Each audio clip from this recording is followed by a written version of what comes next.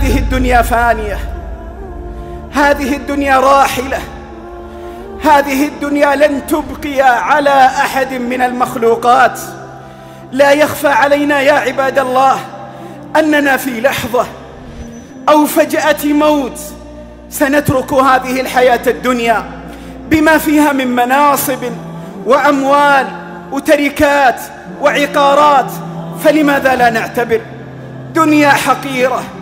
دنيا فانية. نام عليه الصلاة والسلام على حصير. وهو أفضل خلق الله على الإطلاق. نام على حصير. ثم قام. وقد أثر الحصير على جنبه الشريف.